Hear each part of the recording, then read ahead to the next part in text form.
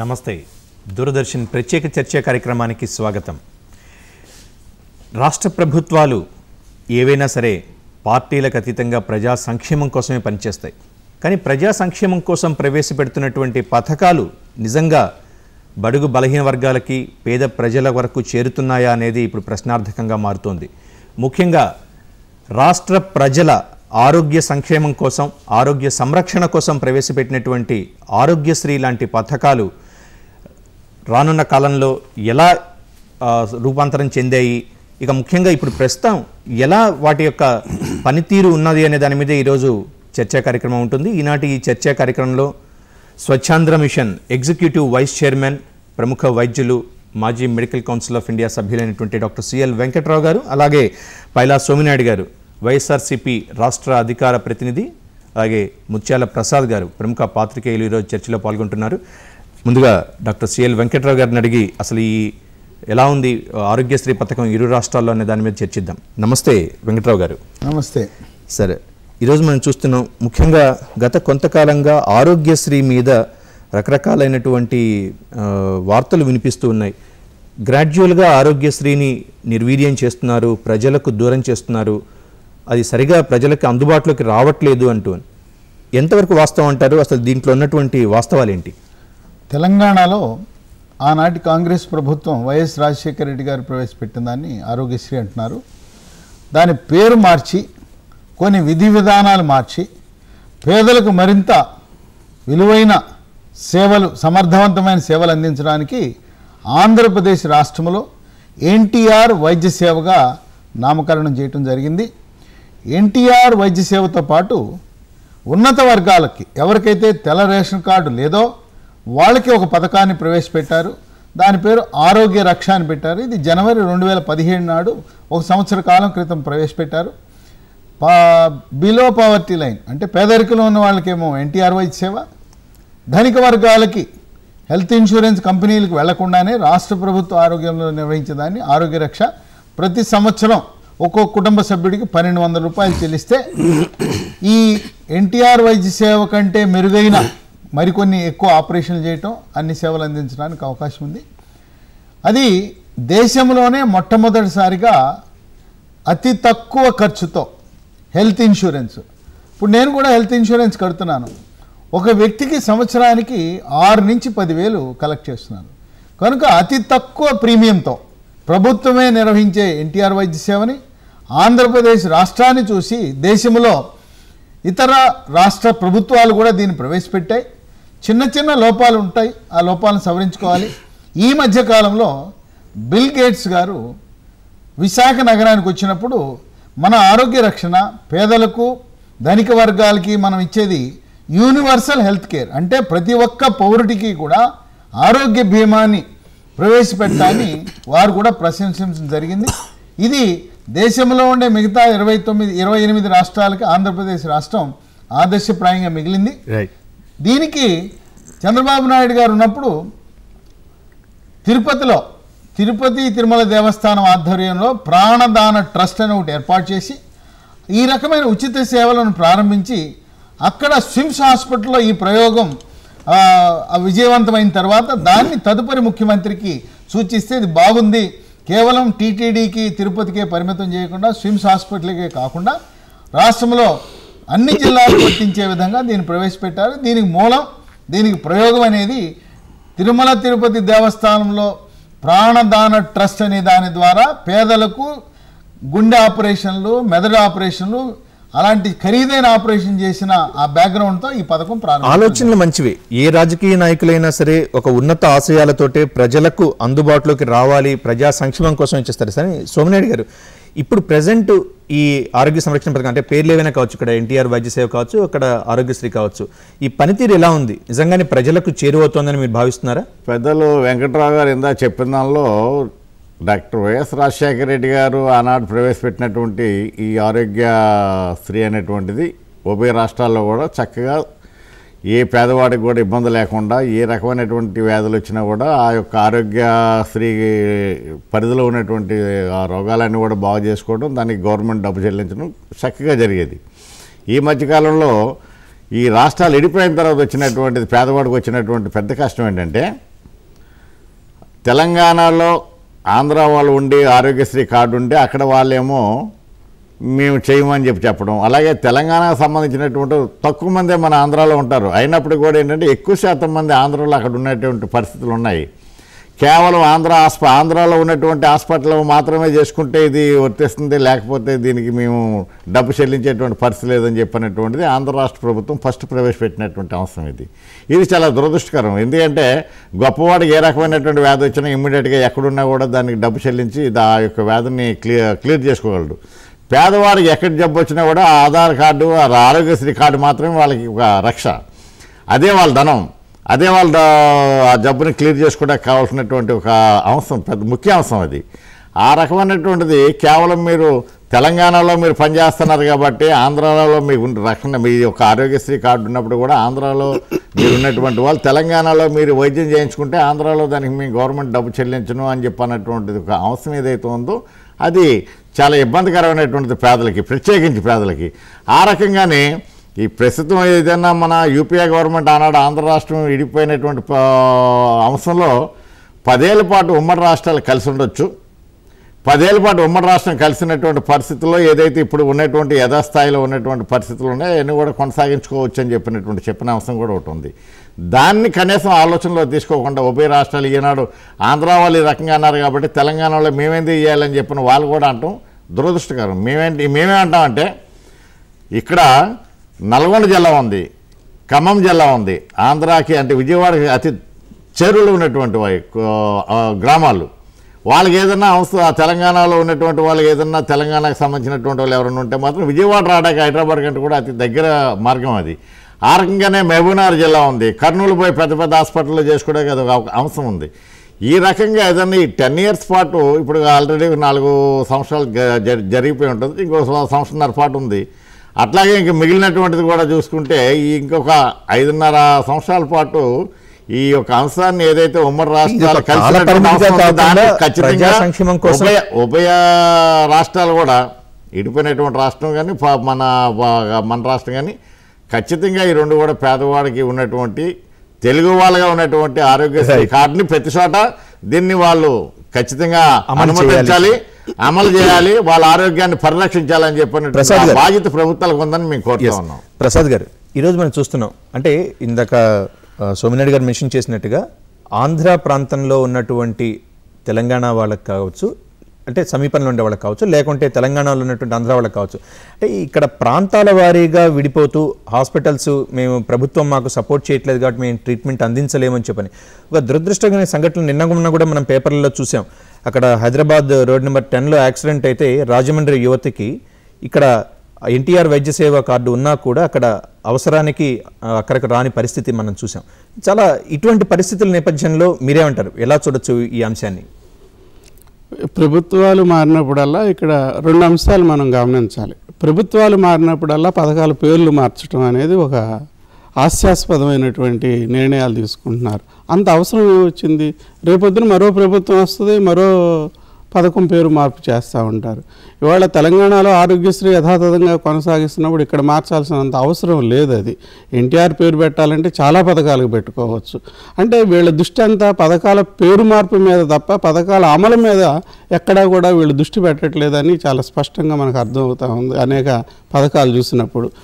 ప్రస్తుతం తెలంగాణ రాష్ట్ర ప్రభుత్వం ఒక నిర్ణయం తీసుకుంది. ఆరోగ్యశ్రీకి సంబంధించి ఆంధ్ర ప్రాంతంలో ఉన్నటువంటి తెలంగాణ ప్రజల యొక్క ఏదైనా ఇబ్బందులు లేదా యాక్సిడెంట్లు లేదా సీరియస్ ఇది జరిగినప్పుడు ఆ పేద ప్రజల పరిస్థితి ఏంటి అనేది పక్కన పెడితే మనం మన రాష్ట్రానికి సంబంధించి ఆంధ్రప్రదేశ్ మనకు పదేళ్ళ పాటు రాష్ట్ర రాజధానిగా ఉంది. ప్లస్ వైద్యం అంతా కూడా అత్యాధునిక వైద్యం అంతా కూడా హైదరాబాద్ కేంద్రీకృతం అయింది ఇంకా విజయవాడకి ఏ మంచి హాస్పిటల్ కూడా షిఫ్ట్ అవ్వాలని పరిస్థితి ఉంది. ఈ నేపథ్యంలో రాష్ట్ర ప్రభుత్వం ఈ గుడ్డి చూపుగా ఇటువంటి నిర్ణయం తీసుకోవటం అనేది చాలా దారుణమైన విషయం. దీనివలన ఆ హైదరాబాద్లో ఉన్నటువంటి ఇప్పటికే దాదాపు అరవై డెబ్భై లక్షల మంది ఆంధ్రప్రదేశ్కు చెందినటువంటి ప్రజలు హైదరాబాద్లో వివిధ వృత్తుల్లో పనిచేస్తూ ఉన్నారు. వాళ్ళంతా తీవ్ర ఇబ్బందులకు గురయ్యేటటువంటిది. తెలంగాణ రాష్ట్ర ప్రభుత్వం తీసుకోవడంలో ఆశ్చర్యపోనవసరం లేదు.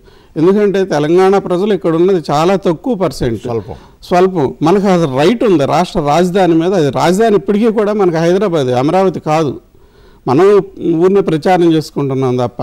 ఇప్పుడు చెన్నైలో కూడా మన తెలుగు వాళ్ళు చాలామంది ఉన్నారు. వాళ్ళ గురించి మనం ఏమి ఆరోగ్యశ్రీలు లేకపోతే ఎన్టీఆర్ పథకాల గురించి మనం పట్టించుకోవట్లేదు. అట్లాగే తెలంగాణ ప్రభుత్వం కూడా దాన్ని నిషేధించుకుంది.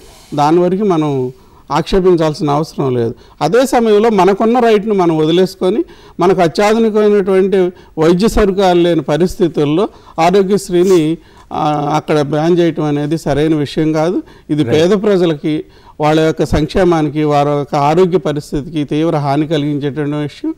ఇంకా అసలు దీని మూలమైన విషయాల్లోకి వెళ్దాం. దోచుకోండి మేము కొద్దిగా పెడతాం అనేటటువంటి తీరి ఉంది ఆరోగ్యశ్రీలో. ఆ చర్చలకు వెళ్ళే ముందుగా డాక్టర్ గారిని అడుగుదాం. వెంకట్రావు గారు ఈరోజు చాలా స్పష్టమైన క్వశ్చన్ వస్తుంది. వీలైతే మిగతా రాష్ట్రాలకు కూడా మన ఎన్టీఆర్ వైద్య సేవ సేవలని విస్తరిస్తూ అక్కడ ఆసుపత్రిలో కూడా ఏదైనా ఎమర్జెన్సీ టైంలో తీసుకున్నటువంటి వైద్యానికి చెల్లించాల్సింది పోయి కార్పొరేట్ ఆసుపత్రుల ప్రభావంతో కేవలం కార్పొరేట్ ఆసుపత్రులకు మేలు చేసే విధంగా ఉన్న ఆసుపత్రులను కూడా తగ్గించుకుంటూ రావడం అనేది ఎంతవరకు సమంజసం అనేది ఈరోజు ప్రజల్లోంచి వస్తున్నటువంటి ఒక ప్రశ్న. మీరేం చెప్తారు సార్? ఇప్పుడు వీరు. నాయుడు గారు ప్రసాద్ గారు అత్యవసర పరిస్థితిలో ఉండే ఆంధ్రప్రదేశ్ రోగులకు తెలంగాణలో ఉన్న వారికి హైదరాబాద్లో ఉన్న వాళ్ళకి ఎటువంటి ఇబ్బంది లేదు.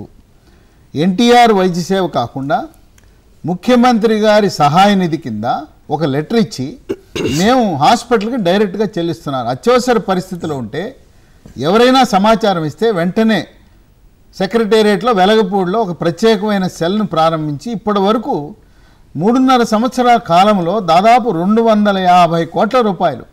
ఏదైతే ఎన్టీఆర్ వైద్య సేవలో రాదో లేదో అత్యవసర పరిస్థితుల్లో ఏవరు ఏ ఒక్కరు ఆ తెలుగువారు ఆంధ్రప్రదేశ్ వాళ్ళు బాధపడకూడదనే ఆ ఒక లక్ష్యంతో దాదాపు ఆ పది లక్షల వరకు కూడా ముఖ్యమంత్రి గారి సహాయ నిధి నుంచి సాయం చేయడం జరిగింది.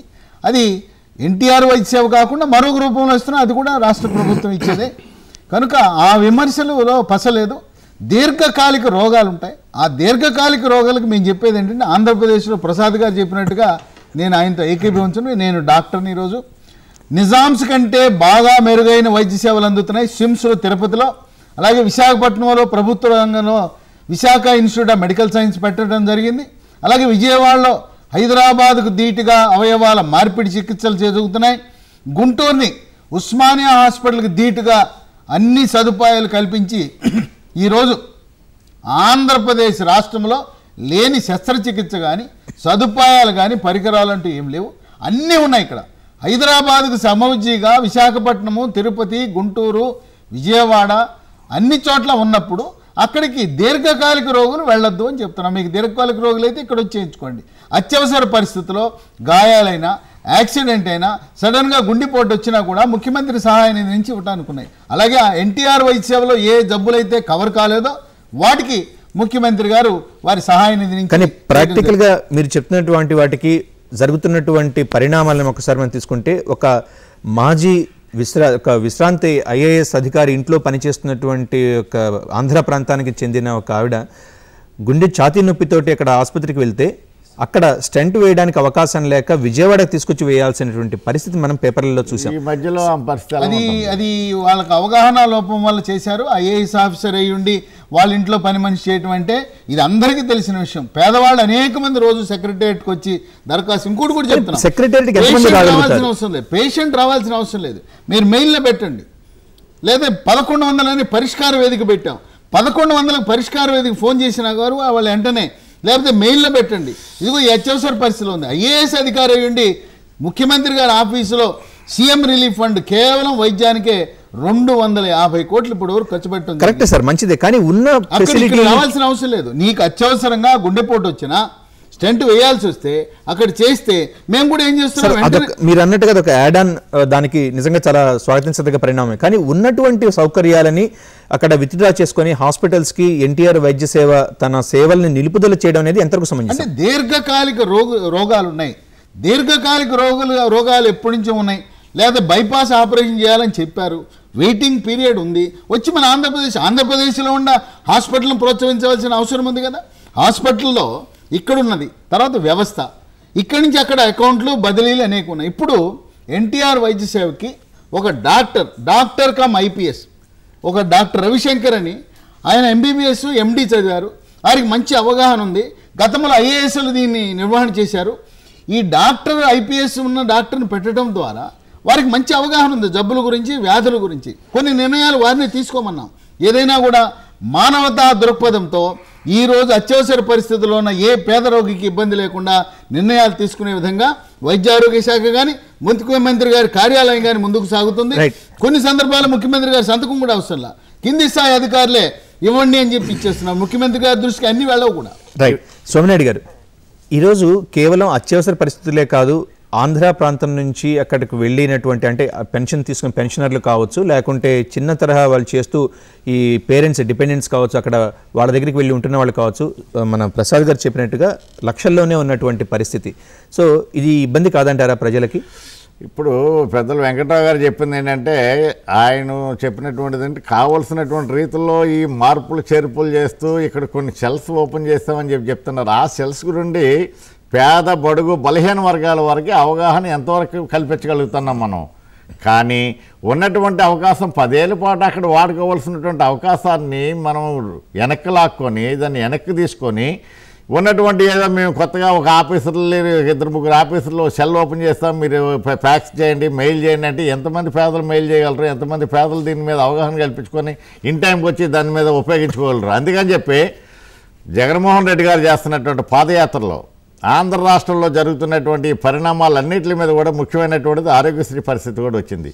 ఆ రకమైనటువంటి పరిస్థితులను వాళ్ళు చెప్పారు. గతంలో రాజశేఖర రెడ్డి గారు ఏ రకమైనటువంటి వ్యాధి వచ్చినా కూడా దాన్ని ఇమ్మీడియట్గా ఏ హాస్పిటల్ అయినా చేయించుకో చేసుకోవచ్చు. దానికి గవర్నమెంట్ డబ్బు చెల్లించడం జరిగేది. కాబట్టి ఇప్పుడు ఉన్నటువంటి మీ కంప్లైంట్కి ఒకటే మార్గం నేను ప్రస్తుతం చేయగలిగేది.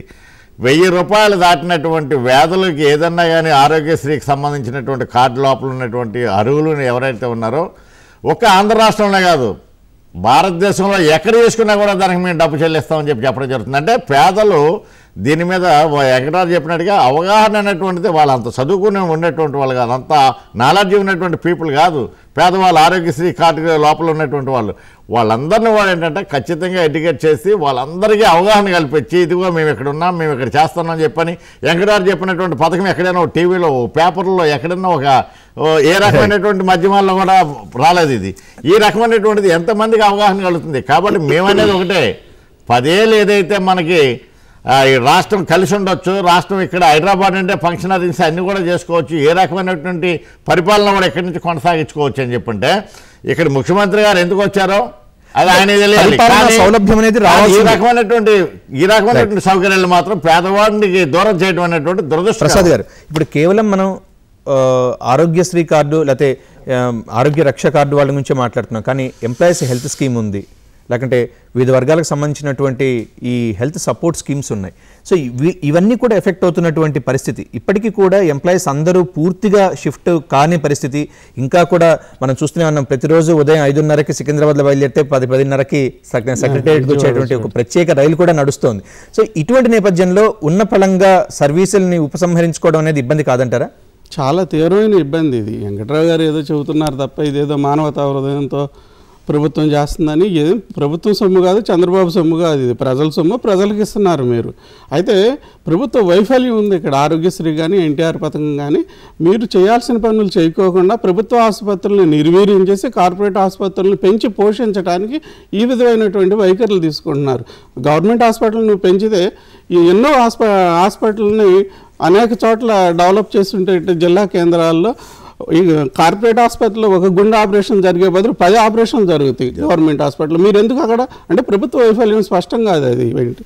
వైఎస్ఆర్ హయాంలో అవ్వచ్చు లేదంటే వాళ్ళ చంద్రబాబు హయాంలో అవ్వచ్చు.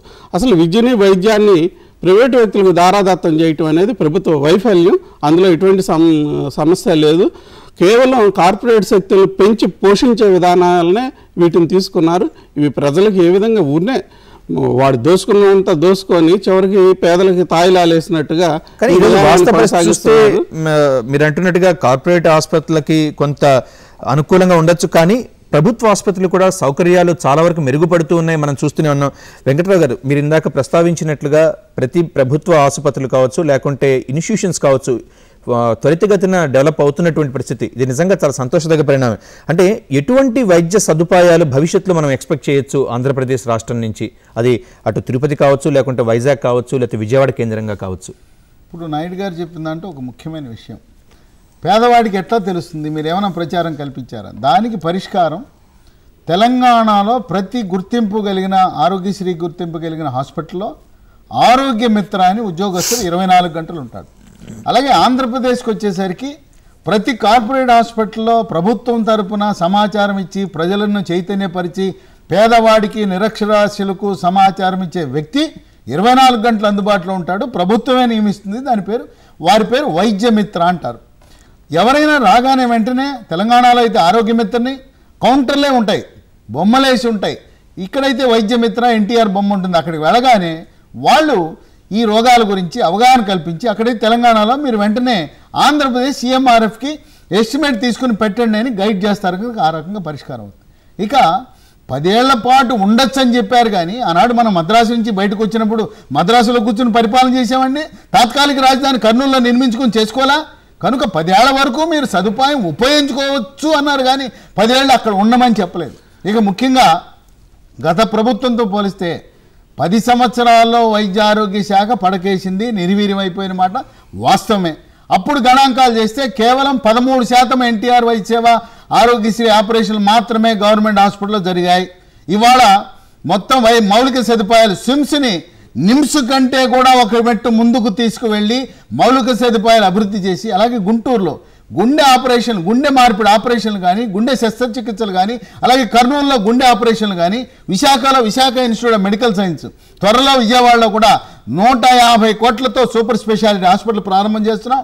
గుంటూరులో అత్యాధునిక వైద్య క్యాన్సర్ నాట్కో వారి సహకారంతో చేయడం జరిగింది. పబ్లిక్ ప్రైవేట్ పార్ట్నర్షిప్లో ప్రతి చోట కూడా సిటీ స్కాన్లు ఎంఆర్ఐలు డాప్లర్లు ఉచితంగా వైద్య పరీక్షలు పెట్టడం జరిగింది. ఇవాళ గణాంకాలు తీసుకుంటే ఆ కాంగ్రెస్ పరిపాలనలో ఉన్న పదమూడు శాతం ఆపరేషన్లు ఇవాళ ముప్పై మూడు శాతానికి వెళ్ళింది. అంటే ఇరవై శాతం ఆపరేషన్లు పెరిగినాయి. ఇంకోటి కూడా చెప్పాం ఒక సంస్కరణ.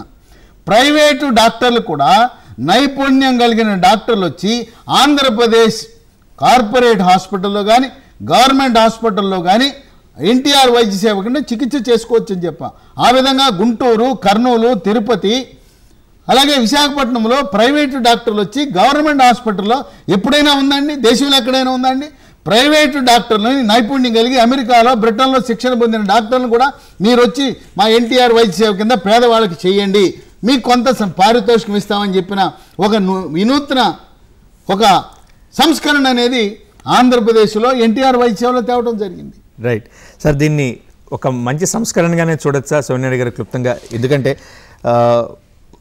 థియరిటికల్గా చాలా బాగుంది. ఎందుకంటే నైపుణ్యం కలిగినటువంటి డాక్టర్లు అనేవాళ్ళు పేద ప్రజలకు కూడా అందుబాటులోకి రావడం అనేది స్వాగతించదగ్గ పరిణామం. కానీ దీన్ని ఎలా చూడొచ్చు?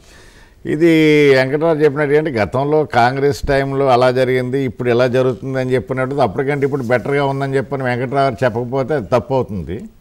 ఆయన తెలుగుదేశం ఒక నాయకుడిగా కూడా ఉన్నారు ఆయన.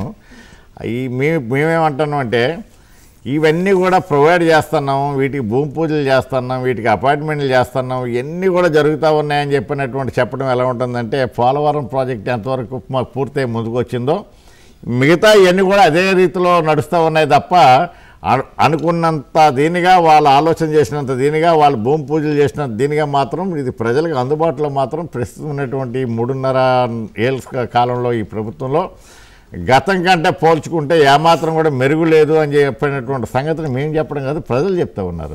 కాబట్టి దయచేసి వెంకట్రావు గారు మాట్లాడొచ్చు చెప్పొచ్చు ఆ పథకాలు వాటిలన్నిటి. కానీ ఏంటంటే అమలుగా నోసుకోవాల్సినటువంటి అవసరం ఉంది వీటి వీటి త్వరితగతిన పూర్తి చేసినటువంటి చిత్తశుద్ధి ప్రభుత్వానికి ఉండాలి దానికి సంబంధించినటువంటి పెద్దలకు ఉండాలి అదైతే మాత్రం ఇవాళ జరగట్లేదు. మైసూరులో మైసూరు మధ్యలో మైసూరు ఎంత ఉందని చెప్పినటువంటిది ఎంత నిజమో ఈనాడు ఈ ప్రభుత్వం చేస్తున్నటువంటి పథకాల్లో ముందుకు పోతానే అని చెప్పని వాళ్ళు ప్రచారం చేసుకోవడం కూడా అంతే నిజం ఉందని చెప్పని ప్రజలు భావిస్తున్నారు. ఇది వైఎస్ఆర్ కాంగ్రెస్ పార్టీ తరఫున మేము చెప్పేది ప్రసాద్ గారు ఫైనల్గా అంటే ఎటువంటి ఈ సౌకర్యాలు అందరూ రావాలని అందరూ కోరుకుంటూ ఉంటారు?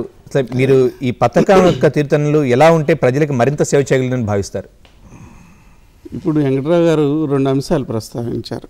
చెన్నై నుంచి రాజధాని షిఫ్టింగ్ కర్నూలుకి హైదరాబాద్ నుంచి విజయ అమరావతికి షిఫ్టింగ్. అప్పటికి ఇప్పటికి చాలా తేడా ఉంది. ఆ రోజున మొత్తం అందరూ సరంజామా అంతా వచ్చేసి గుడిసెలు వేసుకొని టెంట్లు వేసుకొని ముఖ్యమంత్రితో సహా ప్రధాన కార్యదర్శితో సహా అక్కడ ఉన్నారు ఇవాళ ఆ పరిస్థితి ఉందా? కార్పొరేట్ హోటల్స్ తీసుకొని దానిలోనే ఉంటున్నారు. ఇది దానికి దీనికి పోల్చుకోవటం అనేది సరైనది కాదు. ఆ రోజున ఆదర్శనీయమైనటువంటి పాలన జరిగింది. ఈ రోజున కార్పొరేట్ పాలన జరుగుతుంది. రెండో అంశం అన్ని హాస్పిటల్లోనూ అత్యాధునికమైనటువంటి పరికరాలు అందజేస్తున్నాం అంటున్నారు. కానీ అక్కడ టెక్నీషియన్ ఉండడు ఆ మిషన్ మూలబడి ఉంటుంది. నాలుగైదు సంవత్సరాలకి అది తుప్పు పెట్టిపోతుంది. మళ్ళీ టెక్నీషియన్ నియమించేటప్పటికి అది పనిచేయదు. ఇటువంటి పరిస్థితి మన గవర్నమెంట్ హాస్పిటల్ అన్నింటిలో సిమ్స్ అన్ని అన్ని వైపులా ఉంది. రెండు సంస్కరణలు ప్రవేశపెట్టాం ఆరోగ్యశ్రీలో అని చెబుతున్నారు. చాలా గొప్పగానే ఉంది బాగుంది. మంచి మంచి డాక్టర్లు వచ్చి పేదవాడికి వైద్యం చేయటాన్ని అందరూ హర్షిద్దాం. కానీ ఎందుకు జరుగుతుంది? అక్కడ అసలు ఆ డాక్టరే ఉంటలా. గవర్నమెంట్ హాస్పిటల్లో సరైన డాక్టర్ నిపుణులు ఉంటలా. రిక్రూట్మెంట్ జరగట్లా. ఎందుకు జరగట్లేదు? నర్సింగ్ రిక్రూట్మెంట్ జరగట్లేదు ఎందుకు జరగట్లేదు? కాబట్టి మీరు ఇక్కడ ఏమీ లేకుండా చేసేసి అక్కడి నుంచి ఎవరినో తీసుకొచ్చి ఇక్కడ వైద్యం చేయిస్తామని చెప్పడంలో అర్థమే ఉంది. కాబట్టి ఇదంతా కూడా కార్పొరేట్ విధానంలో ఈ ప్రజల సొమ్మును తీసుకెళ్ళి కార్పొరేట్ శక్తులకు అప్పగించేటటువంటి ప్రయత్నం చేయటంలో ఈ ఈ రాష్ట్ర ప్రభుత్వం కాదు దేశ దేశంలో ఉన్న కేంద్ర ప్రభుత్వం కానీ వివిధ రాష్ట్రాల ప్రభుత్వాలు కానీ ఇప్పుడు కొత్త పోకళ్ళు పోతున్నాయి. ఇవి పేద ప్రజలకు ఉపయోగపడేది కాదు. ఏ దశలోనూ కూడా పేదలను ఉద్ధరిస్తామని చెప్పడం మాత్రం హాస్యాస్పదమే. ఇది కేవలం వాళ్ళ వాళ్ళ వ్యక్తుల యొక్క ప్రయోజనాలను వాళ్ళ వర్గాల యొక్క ప్రయోజనాలను కాపాడుకుంటూ నిన్నటిదాకా విజయవాడ హాస్పిటల్లో కార్పొరేట్ హాస్పిటల్ ఆరోగ్యశ్రీ రాకముందు మూతపడే సిద్ధంగా ఉన్నటువంటి అనేక కార్పొరేట్ హాస్పిటల్ ఇవాళ పరిపుష్టమైపోయినవి. ఇంకా కొత్త కొత్త అన్నీ వస్తున్నాయి. కేవలం ఏంటంటే ఆరోగ్యశ్రీ. అదే ప్రభుత్వ ఆసుపత్రిని మీరు డెవలప్ చేసి ఉన్నట్లయితే అసలు మిమ్మల్ని ఈ క్వశ్చన్ ఎందుకు వచ్చేది ఇవాళ? విద్యా వైద్యాన్ని ఎందుకు జాతీయం చేయరు ఇవాళ? విద్యా వైద్యం రెండింటిని పేద ప్రజలకు అత్యవసరమైనటువంటి సంపాదించుకున్న డబ్బులో నుండి జీతం పదివేలు వస్తే దానిలో పిల్లల ఖర్చుల కోసం భార్య బిడ్డల వైద్య ఖర్చుల కోసం సగం డబ్బులు ఖర్చు పెడుతున్నాడు. అటువంటి పరిస్థితిని మీరు కల్పించి మేము ప్రభుత్వం గొప్పగా చేశామని చెప్పుకోవటం అనేది అర్ధరహితమైంది. రైట్. సరే వెంకటరావు గారు సరే మనకున్నటువంటి అతి తక్కువ సమయంలో సరే విమర్శలు వస్తూ ఉంటాయి సద్విమర్శలు వస్తూ ఉంటాయి సూచనలు వస్తూ ఉంటాయి. అంతిమంగా ఏ ప్రభుత్వం అయినా ప్రజా సంక్షేమం కోసమే పనిచేస్తూ ఉంటుంది. మీరు అన్నట్టుగా సౌకర్యాలు మెరుగుపడుతూ ఉన్నాయి. నిపుణులైనటువంటి డాక్టర్లు వస్తున్నారు అంతా వస్తున్నారు. కానీ ఒక్క వ్యాలిడ్ పాయింట్ మాత్రం సరైనటువంటి నిర్వహణ లోపం. ఇక్కడ ఈరోజు మనం తీసుకొస్తున్నటువంటి అత్యాధునిక పరికరాలు కావచ్చు లేకుంటే వసతులు కావచ్చు ఇవి సరైన నిర్వహణ లేక అవి పేద ప్రజలకు అందుబాటులోకి రావట్లేదు అనేది ప్రజలు కూడా చూస్తున్నటువంటి ఒక విమర్శ. దీనికి ప్రభుత్వ పరం నుంచి ఏదైనా ఒక సొల్యూషన్ ఉందా? అంటే నియామకాల ప్రక్రియ ఏమైనా చేపట్టే అవకాశం ఉందంటారా? దీనికి యంత్ర పరికరాల నిర్వహణకి దేశంలో ఏ రాష్ట్రంలో లేని విధంగా ఒక సంస్కరణ తీసుకురావడం జరిగింది. ఒక ప్రైవేట్ ఏజెన్సీలకు టెండర్ ద్వారా రాష్ట్రంలో మొత్తం అన్ని గవర్నమెంట్ హాస్పిటల్లో ఎన్ని పరికరాలు ఉన్నాయి ఎన్ని పనిచేస్తున్నాయి పనిచేయని వాటికి యాన్యువల్ మెయింటెనెన్స్ కాంట్రాక్ట్ కొన్ని కంపెనీలు గ్యారంటీలు వారంటీలు ఉన్నాయి. గ్యారంటీ వారంటీలు కూడా పనిచేస్తున్నాయా లేదని ఒక కంపెనీని సెలెక్ట్ చేసుకుని ఆ కంపెనీ ద్వారా ప్రతి పరికరం ప్రైవేట్ హాస్పిటల్లో ఇరవై నాలుగు గంటల్లో రిపేర్ చేస్తున్నారు కనుక గవర్నమెంట్ హాస్పిటల్లో కూడా ప్రైవేటుకు ధీటుగా అతి తక్కువ సమయంలో మెయింటైన్ చేయడానికి ఈ సంస్కరణ తేవడం ద్వారా ఒక ప్రైవేట్ సంస్థ నియమించుకుని ఆంధ్రప్రదేశ్ గవర్నమెంట్ అన్ని హాస్పిటల్లో ప్రాథమిక ఆరోగ్య కేంద్రంలో ఉండే ఈసీజీ నుంచి టెర్షరీ కేర్ హాస్పిటల్ ఉండే బోధన ఆసుపత్రులు ఉండే సిటీ స్కాన్ ఎంఆర్ఐ వరకు యంత్ర పరికరాల నిర్వహణకు ఒక సంస్కరణ తీసుకురావడం జరిగింది. ఇవాళ ప్రతిదీ కూడా కంప్యూటర్లోకి ఎక్కించి ఎన్ని పని చేస్తున్నాయి ఎన్ని పని చేయట్లేని అంశం తీసుకొచ్చాం. ఇవాళ వాస్తవాన్ని అంగీకరించాలి. బయట సూపర్ స్పెషలిస్ట్ డాక్టర్కి ఐదు నుంచి పది లక్షలు వస్తుంటే గవర్నమెంట్ జీతాలు డెబ్బై ఐదు వేలు లక్షలు ఉన్నప్పుడు వాళ్ళు అక్కడ ఉన్న ఆ నైపుణ్యం కలిగిన డాక్టర్ని తీసుకొచ్చి పేదవాడికి ఆపరేషన్ చేయించాలనే సంకల్పంతో దేశంలో ఎక్కడా లేని విధంగా పది లక్షలు తీసుకుంటున్న నైపుణ్యం కలిగి అమెరికా నుంచి లండన్ నుంచి వచ్చి రోబోటిక్ సర్జరీ రోబోట్లతో కూడా చేస్తున్న అత్యాధునిక వసతులతో చేయిస్తున్న ఆ డాక్టర్ని తీసుకొచ్చి పేదవాడికి చేయించిన సంస్కరణ తెచ్చింది ఆంధ్రప్రదేశ్ ప్రభుత్వం. ఇది ఎన్టీఆర్ వైద్య సేవలు తెచ్చిన సంస్కరణలో భాగంగా రాష్ట్ర ప్రభుత్వం ముందుకెళ్తుంది. వీళ్ళు చెప్పేది ఎట్టుందంటే గుడిసెలో తేలుంది గుడిసెలో పాము ఉంది గుడిసెని తగలబెట్టడం కాదు. మీరు నిర్మాణాత్మకమైన సూచనలు చేయండి. ప్రభుత్వం ఆమోదిస్తుంది. వైద్య నిపుణులు కానీ రాజకీయ పార్టీలు కానీ నిర్మాణాత్మకమైన సూచనలు చేయండి. మనమందరం కూడా పేద ప్రజల యొక్క ఆరోగ్యం కాపాడటానికి ఉన్నాం. ఏ ఒక్క పేదవాడు కూడా అత్యవసర పరిస్థితుల్లో ఇబ్బంది పడకూడదని చంద్రబాబు నాయుడు గారు ఎంత డబ్బైనా ఖర్చు పెట్టడానికి ఇవాళ ఏడు వేల రెండు వందల కోట్ల బడ్జెట్ రాష్ట్ర వార్షిక బడ్జెట్ గత సంవత్సరం. ఈ సంవత్సరం దాదాపు ఎనిమిది వేల కోట్లు ఖర్చు పెట్టాలని ఉన్నాం. కనుక వైద్యం పేదవాడికి ఎన్ని వందల కోట్లు అనే కంటే కూడా ఇక్కడ ఎంత మందికి వైద్య సేవలు అందుతున్నాయి అనేది ఇంపార్టెంట్ సరే ఎవరు అది విమర్శ అయినా సద్విమర్శ అయినా లేకుంటే సూచన అయినా సరే అంతిమంగా ప్రజా సంక్షేమం కోసం ప్రభుత్వాలు పాటుపడతాయన్నది వాస్తవమే. మరింత ముందుగా వెళ్ళాలి ఇటువంటి సౌకర్యాలు అంటే ఒక ప్రాంతానికి పరిమితం కాకుండా విస్తరించాలి రానున్న రోజుల్లో అని మనం కూడా కోరుకుందాం.